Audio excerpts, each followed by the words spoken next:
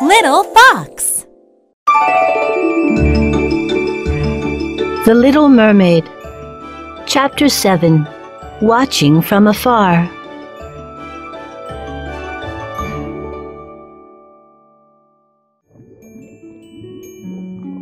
At first, the little mermaid decided to keep her love for the prince a secret.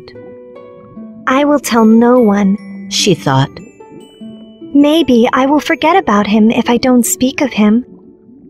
but she could think of nothing else. Finally, she told her eldest sister, I have fallen in love with someone from the upper world. Oh no! cried her sister. Who? He is a prince, Said the little mermaid. but I don't know where his kingdom is or where he lives. Her sister told other sea folk what the little mermaid had said. Soon, one mermaid heard the tale and visited the lovesick princess. I know where he lives, she told her. His palace is on a hill just beyond the sea cliffs, Please take me there. begged the little mermaid. We have no legs to walk to his door, the other mermaid said. But we can swim to the cliffs. From the high rocks, we can see the little balcony where the prince sometimes stands. With her guide, the little mermaid swam to the cliffs and climbed onto the nearby rocks.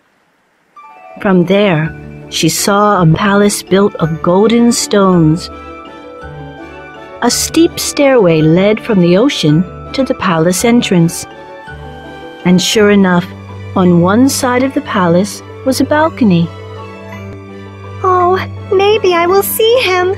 cried the little mermaid, peering from behind a rock. She forgot all about her guide, who soon swam away. From that day on, the little mermaid visited the cliffs every evening. She sat on a rock and waited for her handsome prince. Once in a while, she caught sight of him, standing alone in the bright moonlight. Oh, Prince, I long to talk to you, She said, but I can't reach you, so I'll sing to you instead. The little mermaid thought the prince would notice her if he heard her voice. In the Sea Kingdom, everyone said she had the sweetest voice of all the mermaids. My home is in the sea. Your home is in a place I cannot be. But your handsome face is in my heart, and my whole heart is in your hands. Come to me, my prince, come to me. But he was on land and she was in the waves. Under the stars, the ocean breeze carried her voice away, too far away to be heard.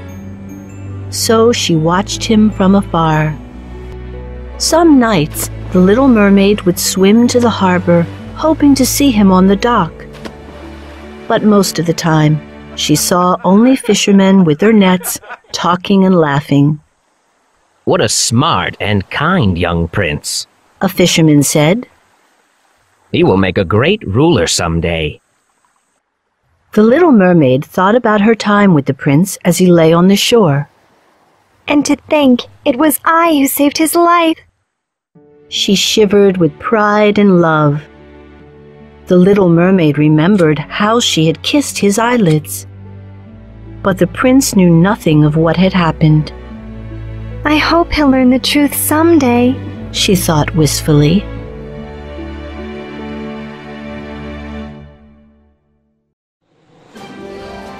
재미가 쏠쏠 영어가 술술. Little Fox